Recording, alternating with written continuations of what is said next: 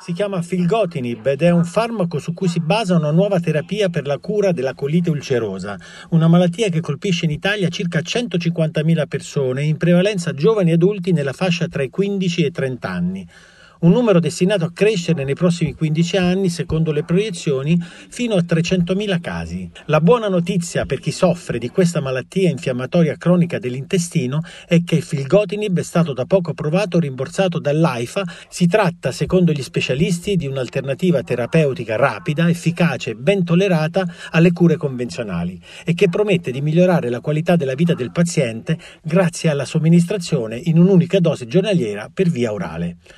Flavio Caprioli, segretario generale dell'Italian Group for the Study of Inflammatory Bowel Disease e professore associato di gastroenterologia all'Università degli Studi di Milano c'è una quota di pazienti che è stimata cir- in circa il 25%-30% di pazienti che non risponde a nessuna linea terapeutica e deve ricorrere all'intervento chirurgico per il controllo definitivo della, eh, dei sintomi. Eh, fortunatamente la ricerca sta procedendo, questi nuovi farmaci, fra cui i JAK inibitori, eh, permettono di colmare, almeno in parte, il gap terapeutico che le terapie attuali non, ci, non consentono di controllare.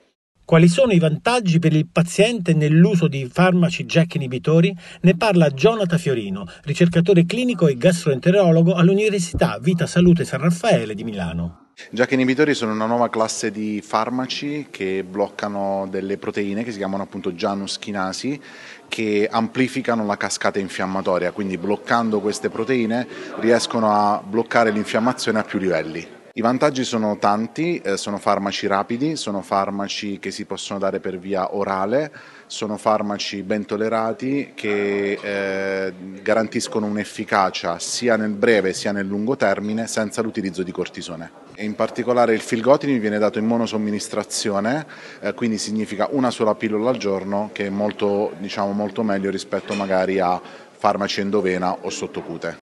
La colite ulcerosa è una malattia seria, invalidante e debilitante e con un notevole impatto sulla qualità della vita delle persone, con un effetto potenzialmente devastante sulle relazioni sociali.